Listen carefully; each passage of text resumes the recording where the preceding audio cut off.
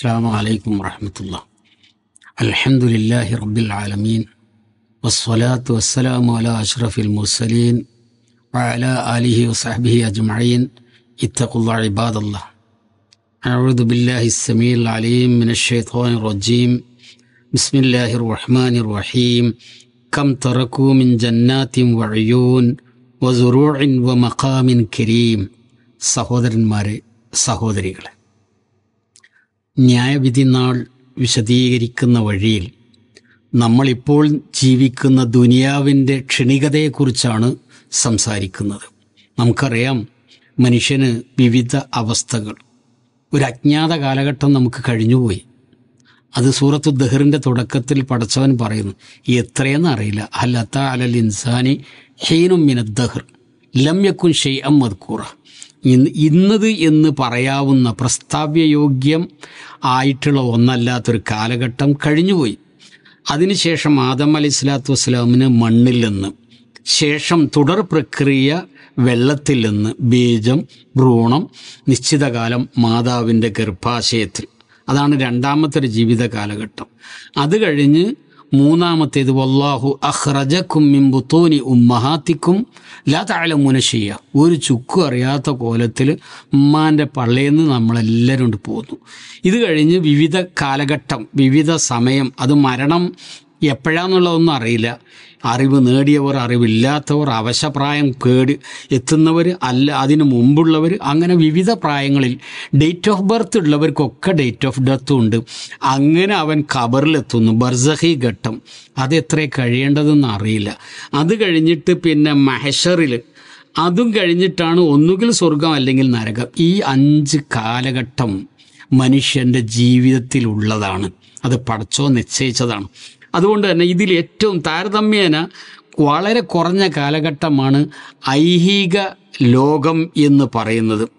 എന്ത് എത്രയായാലും ശരി നമ്മൾ ആരായാലും ശരി ഒരിക്കലീ ജഗത്തെയും ജഡത്തെയും പിരിഞ്ഞു നാം തിരിക്കണം വിസമ്മതങ്ങളൊന്നുമേ പലപ്പെട. തിരിച്ചു പിന്നെ ഒന്നിടാത്ത യാത്രയാണതാകിലും കരത്തിലുള്ളതൊക്കെ നാം അതിർത്തിയിൽ ത്യജിക്കണം. ഇതാണ് ദുനിയാവിന്റെ അവസ്ഥ. ഫിറൌൻ വലിയ പോക്കിരിയായിരുന്നു ചക്രവർത്തിയായിരുന്നു. ഒരുപാട് ആളുകളെ കൊന്നു പല കോലത്തിലും സമ്പത്തുണ്ടാക്കി. ഓൻ വെള്ളത്തിൽ കടലിൽ മുങ്ങി മരിക്കുന്ന ഘട്ടം. അതിന്റെ ശേഷം ഖുർആൻ മുഹമ്മദ് നബിയെ അറിയിക്കുന്നു അല്ലെങ്കിൽ മാനവർക്ക് അത് സംബന്ധിച്ചുള്ള വിവരം തരുന്നു. വലിയ രാജാവും മുതൽക്കാരൻ പൈസക്കാരൻ ഒക്കെയാണ്. എങ്കിലും മരിച്ചതിന് ശേഷം ഓൻ എല്ലാം ഇട്ടെറിഞ്ഞു പോവാണ്. ഓന്റെ ഭരണം സിംഹാസനം സിൽബന്ദികൾ സാമന്തന്മാരൊക്കെ പോവുക എന്നിട്ട് ഖുർആൻ പറയും കംതറക്കൂ മിഞ്ചന്നാത്തിം വഴിയൂൻ. അവന്മാർ എത്രയെത്ര തോട്ടങ്ങളെയും അരുവികളെയും ഒഴിവാക്കിയിട്ടാണ് പോയത്. വസുറുഴിൻ കരീം. ഒരുപാട് കൃഷികളും മാന്യമായ പാർപ്പിടങ്ങളും. ഒനമത്തിൻ കാനൂഫിഹാ ഫാക്കിഹീൻ ആഹ്ലാദപൂർവം അടിപൊളി ജീവിതം നയിച്ചിരുന്നതും അവരൊഴിവാക്കി പോയില്ലേ? കദാലിക്ക ഔറസിനാഹ കൗമന്നാഹരീൻ ഈ കോലകൊമ്പൻ ഗജപോക്കിരിയായ ഫിറോവിനു ശേഷം വേറെ ഏതോ ഒരു ടീമാണല്ലോ ആ രാജ്യം ഏറ്റെടുത്ത് നടത്തുന്നത്. ഫമാ ബക്കത്ത് അലേഹി മുസ്സമാവു കൊല്ലർലു ഒമാക്കാനൂ മുള്ളരീൻ ആകാശമോ ഭൂമിയോ അവരുടെ മരണത്തിനൊരിറ്റ് കണ്ണീര് പോലും വീഴ്ത്തിയില്ല. അപ്പോൾ ഇത് നേരത്തെ നമ്മൾ ആലോചിക്കേണ്ടതുണ്ട് ഇങ്ങനത്തെ ഒരു വിഷയത്തെക്കുറിച്ച്. നമ്മൾ നമ്മുടെ ദുനിയാവിൽ സമ്പത്ത് ഒരു സ്വരുക്കൂട്ടുന്നതിന് വിദ്യാഭ്യാസം ഭാവി മറ്റ് ആരോഗ്യം ഇങ്ങനെയുള്ള പല കാര്യങ്ങളും ചിന്തിക്കുന്നത് പോലെ ഇതിന്റെ എതിരുണ്ട്. നമ്മുടെ വളർച്ചയ്ക്ക് പോലെ തളർച്ചയ്ക്ക് ജനനം പോലെ മരണം അതുപോലെ തന്നെ ധന്യതയെപ്പോലെ ദാരിദ്ര്യം ഇങ്ങനെയുള്ള കാര്യങ്ങളും നമ്മൾ ചിന്തിക്കേണ്ടതുണ്ട്. അത് മനുഷ്യന് ആവശ്യമാണ്. അതുകൊണ്ട് അതുകൊണ്ട് തന്നെ മനുഷ്യന്മാർ ദുനിയാവിലും കെട്ട് കെട്ടിമറിഞ്ഞിട്ട് ആഹ്റാണ് മറക്കുകയാണ് കല്യാണം കൊണ്ട് കാനോത്ത് മറന്ന് എന്ന് പറയും പോലെയാണ് ദുനിയാവിന് ഭാര്യ കൂട്ടുന്നത് കൊണ്ട് പരലോകം മറക്കുന്നതിനെ പറ്റി പറയാനുള്ളത്. നമുക്ക് കേരളത്തിലെ ഒരു കവി പറയുന്നു കിട്ടും പണമെങ്കിൽ ഇപ്പോൾ മനുഷ്യർക്ക് ദുഷ്ടത കാട്ടുവാൻ ഒട്ടും മടിയില്ല. നീറ്റിലെ പോളയ്ക്കു തുല്യമാം ജീവനെ പോറ്റുവാൻ എത്ര ദുഃഖിക്കുന്നു മനുഷ്യർ. ചെറിയ നീറ്റിലെ പോള പോലെയുള്ള ജീവിതമാണ്. അങ്ങനെ ക്ഷണികം എന്ത് നമ്മൾ നേടിയാലും തൂമ്പിച്ചു വെച്ചാലും താളല്ലേ കോപ്പ് എന്ന് പറയുന്നത് പോലെയാണ്. എന്ത് നേടിയാലും കഴിഞ്ഞു.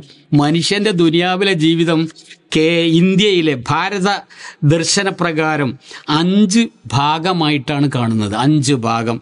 ഏതാണെന്നറിയോ? അവർ പിന്നെ യഥാർത്ഥത്തിൽ നബ്സലാഹു പറയുന്നത് അഴ്മാർ ഉമ്മത്തിമ ബൈന സിത്തീൻ വസബിഴിൻ അറുപതിന്റെയും എഴുപതിന്റെയും ഇടയിലാണെന്ന്. ഈ ഭാരത ദർശനം നൂറ് വർഷമാണ്. എന്നിട്ട് അത് അഞ്ചാക്കി വിഭജിക്കുകയാണ്. ഒന്ന് കുരങ്ങ് ഇരുപത് വർഷം മനുഷ്യന് കൊടുത്തു എന്ന. മനുഷ്യന്റെ മനുഷ്യന് കൊടുക്കാൻ ആയുസ് സ്റ്റോക്ക് തീർന്നുകൊണ്ട് ഓരോ ജീവികളാണ് ജീവികളാണത്രേ കൊടുത്തത്. ഇത് കഥയാണെങ്കിൽ അതിൽ കാര്യമുള്ളത് കൊണ്ടാണ് ഞാൻ പറയുന്നത്. കുരങ്ങന്മാരുടെ ഇരുപത് വർഷം മനുഷ്യന്മാർക്ക്. ഏകദേശം ആദ്യത്തെ ഇരുപത് കൊല്ലം മങ്കിയിലേക്ക് ഇമിറ്റേഷൻ എന്നൊക്കെ പറഞ്ഞ മാതിരി കുരങ്ങന്മാരെ മാതിരി ഒരു കൊമ്പത്തുനിന്ന് വേറെ കൊമ്പത്തേക്ക് ചാടുക എന്നല്ലാതെ വരുമ്പരായികനെ പറ്റി യാതൊരു സോലും ചിന്തിയില്ല. പിന്നെ കുതിരന് ഇരുപത് വർഷം കൊടുത്തു. എന്ന് പറഞ്ഞാൽ കുതിര വിടുക എന്ന് പറഞ്ഞ അക്ഷരാർത്ഥത്തിൽ ശരിയാ. അടുത്ത ഇരുപത് വർഷം ലക്കും ലഗാനും ഇല്ലാത്ത ഒരു ജാതി ഓട്ടാണ് പിന്നെ അടുത്തത് നാൽപ്പത് കഴിഞ്ഞിട്ട് പിന്നെ ഒരു ഇരുപത് കഴുത കൊടുത്തു അറുപത് വരെയൊക്കെയുള്ളത്. കഴുത എന്ന് പറഞ്ഞാൽ എന്തിന്റെ പ്രതീകമാണ്? ഭാരം പേറുന്നതിന്റെ ഭാരം പേറ് തന്നെ ആ ഒരവസ്ഥ. കുടുംബം പോറ്റണം വീടുണ്ടാക്കണം കുട്ടീനെ കെട്ടിക്കണം അതുപോലെ പെങ്ങന്മാരെ കല്യാണം കഴിച്ചു കൊടുക്കണം അങ്ങനെ ഉത്തരവാദിത്വങ്ങളുടെ ഭാരങ്ങൾ തന്നെ. എന്നിട്ട് അടുത്തത് അറുപതായി പെൻഷൻ പ്രായമായി. അത് നായകളുടേതാണ്. ഇനിയത്തെ ഇരുപത്. നായ കാരണം ആരെങ്കിലും വരികയാണെങ്കിൽ ഒന്നിങ്ങനെ ചെനക്കണം കൊരക്കണം എന്നിട്ട് ആ ഉമ്മരത്ത് നാ നാക്കു നീട്ടി അങ്ങനെ കുത്തിരിക്കണം. അതുപോലെ പെൻഷനായവർ ഉമ്മരത്ത് പെരയിൽ അവിടെ കുത്തിരിക്കും. ആരെങ്കിലും വന്ന് സലാം പറഞ്ഞു അസ്സലാം വലൈക്കും വലൈക്കും സ്ലാം കഴിഞ്ഞ് പിന്നെ അടുത്തത് എൺപതായി ഇനിയത്തെ ഇരുപത് ആരുടെ ആരുതാന്നറിയോ? അത് മൂങ്ങയുടേതാ.